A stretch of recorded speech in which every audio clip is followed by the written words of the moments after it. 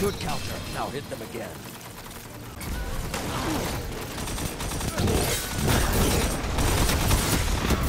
That's two.